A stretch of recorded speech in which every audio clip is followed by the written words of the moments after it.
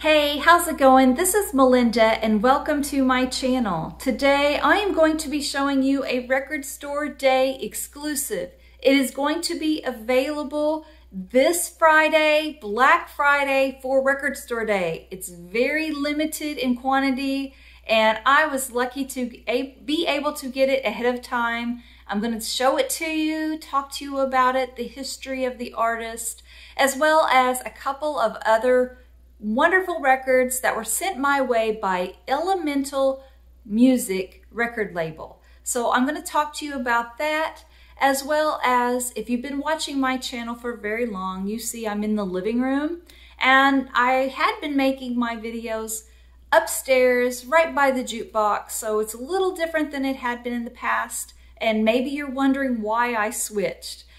It's because we recently did a total renovation of the upstairs media room, and I'm going to give you a tour. I have a lot of music memorabilia up there. My uh, jukebox is still there, and I thought it'd be a lot of fun if I showed you what we have done upstairs. So if you're not a subscriber to my channel, please subscribe, hit the notification bell and the like button. Everything you do helps me and my channel to grow. So thank you so much for your support. And let's get started. Uh, first off, I'm talking about Elemental, the Elemental Music record label. They specialize in newly discovered, archival, and out of print records, as well as classic records that are just hard to find. And my introduction to Elemental Music was this beautiful record that came out last summer the last record store day we had. This is Bill Evans Behind the Dikes. My husband surprised me and brought this home from a business trip he had been on. And I really, really enjoyed this release. A lot of times when there is a newly discovered concert by a jazz musician, a lot of times you hear people say, I like having it for archival purposes. And that's an important thing. I'm not knocking it. And this is really great to have for archival purposes. I'm a huge fan of Bill Evans. But not only was this really nice to have for history's sake, it sounds incredible. It's three LPs. It came on a beautiful gatefold. The packaging was really beautiful. The sound quality of this concert was amazing. So that is what put Elemental Music on the map for me. And I am so thrilled. They reached out to me and they asked me if I would do a review on some of their albums. And they sent three records my way. And the first one I'm going to show is one that's going to be avail available Friday for Record Store Day. It is the beautiful Tammi Terrell. And I love the album cover. Immediately when you see her in this really cool late 60s groovy outfit, her name in the bright yellow, her beautiful smile, it puts a smile on your face. And unfortunately, there are some sad aspects to her life and the history of her music. Um, if you've never heard her name, you've definitely heard her voice.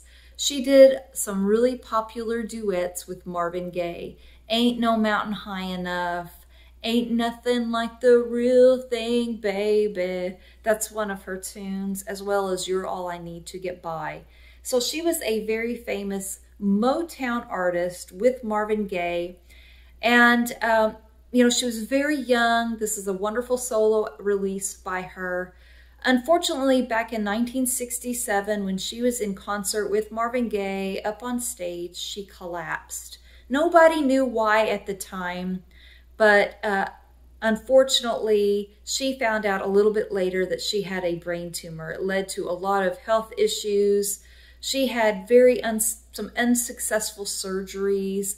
And unfortunately, she died at the tender age of 24, my daughter's age she is now, um, back in 1970. So heartbreaking story of a very young, talented, aspiring girl. But even though her life ended so soon and so tragically, This is a very happy, beautiful sounding record. And it's available for Record Store Day. It's limited to only 1,200 copies. I have only seen this record one time at a store in Nashville. It was on the Holy Moly wall for an original. So if you see this one for Record Store Day, pick it up. If you love the fresh and beautiful, happy sound of Motown, you will love this release. Uh, there's also a song all of us know, This Old Heart of Mine, um, is a really cool tune. You're probably more familiar with the Rod Stewart version of it, but she does a fantastic job. Look how beautiful she was. And they did a great job of making this record. It sounds great. It's beautiful on vinyl. Check out the color. It is the beautiful yellow. It matches her name on the album cover along with that iconic Motown label. So this is a beautiful, wonderful record. If you see this one out there on Record Store Day, pick it up. It's hard to find an original, and this is very limited. So a really wonderful release by Elemental Music. Now the next two records, oh, also I want to also mention that as far as Record Store Day goes, unfortunately the Jackson 5 ABC record has been postponed but there is a Barry McGuire's Eve of Destruction. It is a record that has been out of print for 40 years. That's going to be available for Record Store Day. So uh, those are two very cool Record Store Day releases. Uh, now I want to talk to you about Arthur Lee they have also done a release of a really cool record. Most of you know Arthur Lee from this iconic album by Love. He was the founder of this band, and the album Forever Changes is iconic. Um, just really classic. I put it up there along the lines of uh, the Zombies Odyssey and Oracle or um, the Beatles Sergeant Pepper. It has that kind of sound and um, iconic status. Well, after he left the band Love. He went on, this is his solo debut called Vindicator. And they did a really good job putting this one out on a gatefold with a lot of wonderful pictures. I'm sorry for the glare, you all. And just a really nice release. And I'm going to read the hype sticker because it really just says it all. They described what this record is about perfectly on here. So uh, I'm going to read this it's Vindicator is the debut solo album by Arthur Lee, former of the legendary 60s band Loved. This was released in 1972 by A&M, and the LP features a muscular set of guitar-fueled hard rock laced with blues, and that, that's perfect. That sums it up perfectly. The influence of Lee's friend Jimi Hendrix is prevalent um, throughout the record. Included here is a superb soul spin everybody's got everybody's got to live.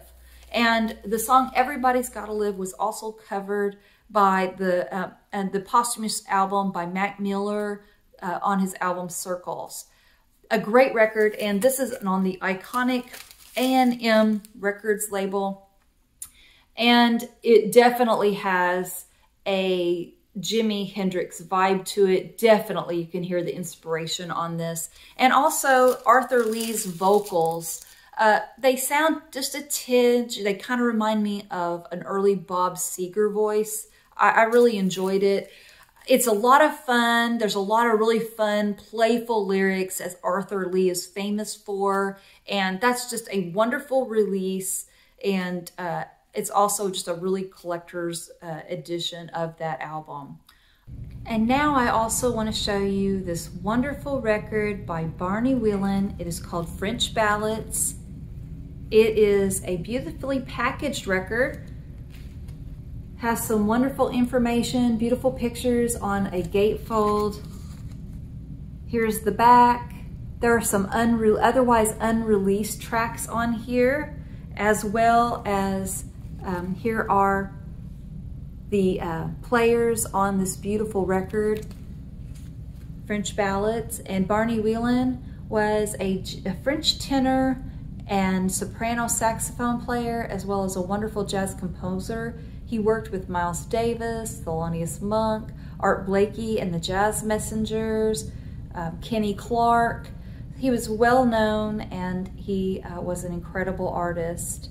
And this is a really incredible record. And I don't call records masterpieces very often. You know, I consider Pink Floyd's Dark Side of the Moon a masterpiece, or um, maybe The Zombies Odyssey and Oracle. This, to me, is a masterpiece. It's beautiful, and I'm uh, really become a huge jazz fan. And I would put this one in, if you like easy listening, soft listening jazz, you would absolutely love this. I highly recommend you streaming it. If you like what you hear, your mind would be blown by this particular copy of French Ballads because the vinyl is so incredible. Here is the hype sticker. I'm sorry for the glare. Here is what it says. Newly remastered from the 24 track analog master tapes by the original sound engineer. And man, it sounds so beautiful that's what I love about jazz and what's coming out now about jazz. Beautiful, incredible sounding pressings. And this one is right up there. It sounds so good. So there's two LPs on 180 gram vinyl. Again, this is a beautiful record that sounds fantastic. And I would say, even if you're not a Christmas music fan, put this record on, turn on your Christmas tree, and you would be truly inspired. So thank you so much to the Elemental Music record label for sending these beautiful records my way. It was my honor to receive them. You did not disappoint. They were great and I really appreciate it. And now I want to show you what we've been doing upstairs. You've been noticing lately I've been doing my uh, videos downstairs again, where in the past I've been doing them right by my jukebox upstairs. Well, our upstairs has got a fresh coat of paint and uh, we have created a beautiful movie theater room. Now, this is not a stereo equipment tour. I will be doing a stereo equipment video very soon, um, but this will show you um, our incredible transformation of a room where there's movie theater uh, seats and the jukebox is still there. I've got a lot of wonderful music memorabilia hung on the walls and I thought you might want to see it. So uh, if you do, stay tuned. Here we go. And now I'll go ahead and start with the tour. First off, as you can see, I have that wonderful Van Halen stand-up that was given to me as a gift by Michael in Nebraska. Very cool. And as you walk up, you can immediately see my jukebox. This is one my husband and I uh, totally refurbished, and I think it's really beautiful. I'm going to turn the light off really quick so you can see how good it looks when it's in the dark. I really love that. Uh, have a lot of great songs on there, and I really enjoy it up here. Uh, I my stereo equipment um, is in the main hub of the house downstairs in the living room, but I do love listening to music, and the jukebox really does a great job for that in here. And uh, here's kind of an overall look of the room. And my husband built this riser that the second row of seating is sitting on, so I'm going to have to be walking around that a little bit, so bear with me. Uh, immediately, I'll go over here and show you what's on this table. Uh, a little coaster, that's Van Halen, that was given to me by Billy Hurst from Riverbend Records. Also, this is a, just a hallmark ornament of the, kid, uh, Be the Beatles, and I just leave it out all the time. My Magical Mystery Tour cookie jar, as well as a wonderful little Snoopy phone. This is one that I wanted desperately as a child, but my mom could never afford. Found it at an antique store and I bought it. So now I have it forever. and also I will show you my autographed record covers that I'm really proud of. This is a wonderful one by the Zombies, signed by the members of the band.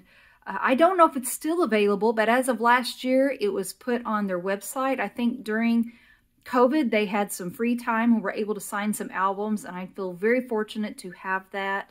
Also, a wonderful Cheap Trick autograph this came exclusively through Experience Vinyl. I ordered my their latest record through Experience Vinyl, and I was thrilled that this insert was included, signed by the band, and I was just very proud of that. I love the band Cheap Trick, so having their autographs is a true treasure for me. And of course, and I have to step up on that riser, so it's a little awkward, you guys. Let me show you this one. This is Mammoth. This is Wolf Van Halen, Eddie's son. This is his newest and brand new release. It's a really great record, and I was uh, I ordered from his website, and the initial run was on clear vinyl, and for a limited time, he was giving out signed inserts. And so that's what this is. This is an insert that came in the album signed by Wolfgang Van Halen.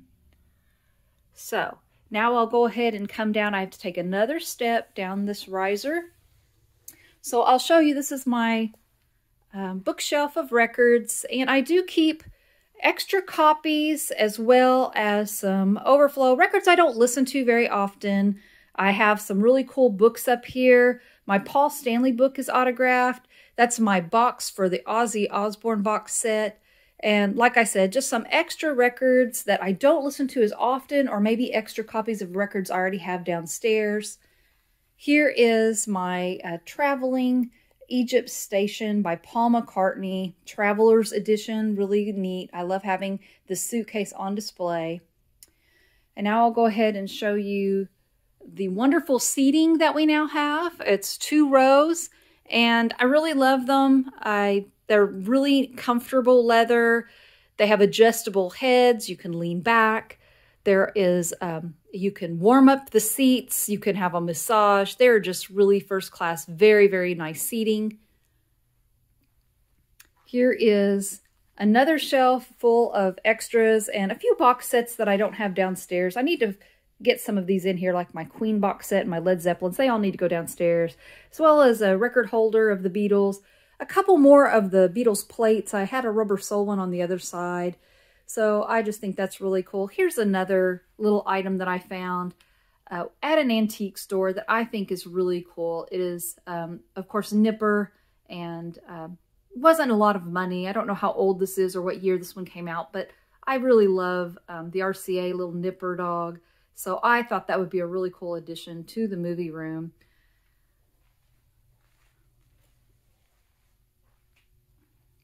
And here is the, the, uh, TV. And eventually we might even get something bigger, but this is a pretty good size uh, TV. We have a Denon receiver, Klipsch speakers that we will probably upgrade at some time, and an SVS subwoofer that is really cool. And the sound in here is really good. When you're watching a movie, the sound quality is just amazing. So I really am enjoying this. It's so comfortable. The only problem is sometimes falling asleep. So um, here also is that wonderful John Lennon poster. It was given to us as a gift by our nephew, Brad, and I really love having that one back up as well as uh, something that's a real treasure for me. A couple months ago, we got to see Styx in concert, and this is a signed um, drumhead and I also added a picture to it just to make it more interesting. So I really love having all of these things in this room. Overall, this is just a gorgeous room. We changed the color. If you remember seeing videos in the past, it was a tan and now it's a beautiful gray with white trim. I absolutely love the chairs. I'm really happy with what we did. And so that is the tour. So thank you so much for watching this video. Please subscribe, hit the like button, and Thank you very much for watching. Take care. Bye-bye.